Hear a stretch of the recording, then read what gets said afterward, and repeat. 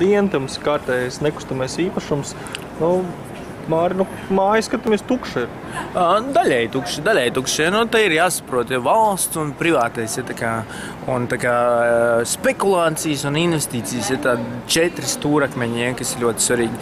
Ja, tur daudz cilvēku manīgi uzskata, ka biržās notiek spekulācijas, ja tur opcijas, futures, ja tur visādi mīmaiņas darījumi, ka tas ir spekulācijas. Bet tā nav, tāpēc ka tā ir īstā reālā vērtība. Tur nekas netiek spekulēts, tur ir īsta vērtība, īsta cena, tirgus cena, viss forši ir sarēķināts cilvēki vinnē naudu, zaudē naudu, viss forši.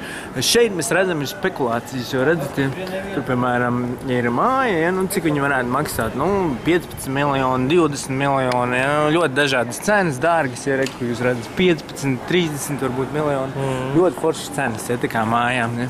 Vienīgā privātā māja, ja nemaldos, ir tā, kur ir Ņujorkas veikals, ja, viņu kādreiz tur nopirka cilvēki, uztaisīja biznesu, tā ir spekulācija, protams, jo uh, tur tīrā veidā nekādas tādas vērtības nav, tā kā viņi tika samaksāti. Jo, um, kā jūs zināt, tīras naudas, cik var šeit nopelnīt, jūs ļoti labi varat redzēt. Ja? Nu, protams, šīs ir valsts mājas, šeit ir mazākas tīras naudas, nezinu cik nezinu, tur 10, varbūt 1000 mēnesī eiro. Ja? Jā. Varbūt tā, bet, nu, pieņemsim, ja jums privātā kārtā pieder šāda māja, un ja jūs esat traks, jūs varbūt pat varat prasīt 40,000 mēnesī. Tas nozīmē, ka jūs gadā no šādas mājas varat pieņemt. Jūs jau tur iznomājat dzīvokli, šoku kaut ko, ja? um, pat varbūt 400, 500 tūkstoši ienākumu gadā. Ja? Daudz? Tas, tas ir daudz. Ja? Tas tā kā sanāk 10 gados 5 miljoni, iespējams, ka 30 gados, ja nebūtu izdevumi šādām mājām, ja? kur, diemžēl, ir, jūs varētu atpelnīt pelnīt šo investīciju. Bet izdevumi ir nekustamā īpašuma nodoklis, ir logu mazgātāji, lāstaku krišanas, visādas nelaimes šādas. Ja? Un tas ir ļoti dārgi. Līdz ar to tā ir spekulācija. Un ļoti um, nepatīkami ir tas, ka valsts nodarbojas ar spekulāciju. Jo lūk, jūs redzat, ka šīs mājas pieder valstī. Apdzīvotība ir minimāla, kā jūs redzat, tikai pirmajos stāvos, ja, kur notiek prostitūcija savā ziņā, nu, tiešā vai pārnestā. Un, un, diemžēl prostitūcija Latvijā nav legāla.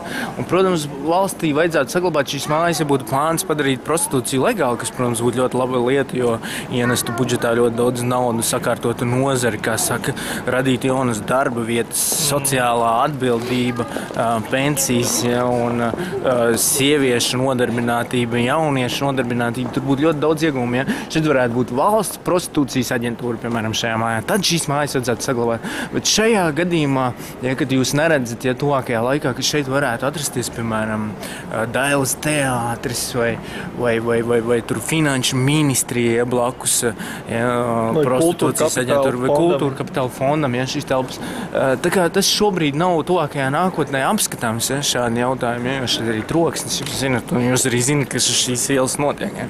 Jūs par citu nosaukumu vajadzētu izdomāt. Uh, tad uh, nu, es personīgi uzskatu, ja, ka viņus vajadzētu pārnot. Ja tur iepriekš mēs runājām par solidaritātes nodokli, ja tur kaut kādi pāris miljoni ieņēmumi. Ja, tā.